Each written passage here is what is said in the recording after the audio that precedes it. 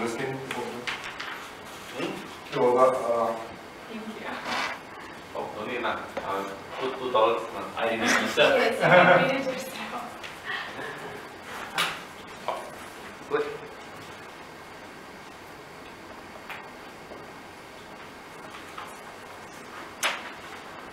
My topic is, because I'm not used to doing this, I'm used to being read out the topic. but anyway, if I were an apple, what would be my perfect day look like? an apple. An apple. Apple. Oh. Wow. Good evening, Toastmasters and guests.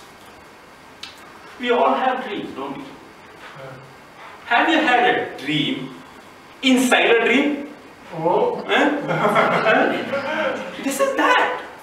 First, you have to dream that you are something that you are not, and then you have to dream a perfect day.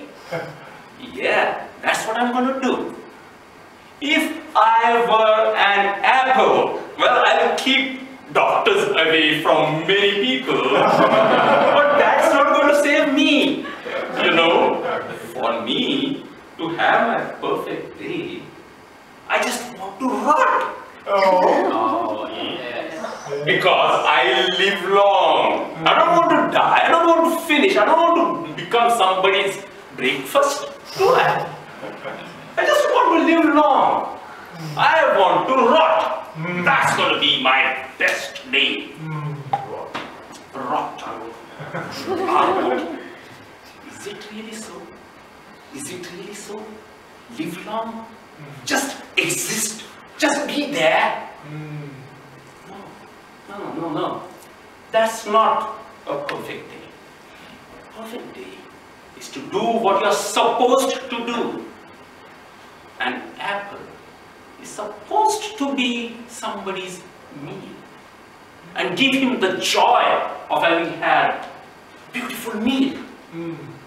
And for an apple to keep the doctor away hmm. from that person who consumes you. You know, if I were indeed an apple, I would like to be in my prime, to be plucked from my tree, to be sold at a reasonable price. at a reasonable price. So that the one who really needs me, not who wants me, needs me, will have me, eat me, and enjoy. That's what I would want to happen if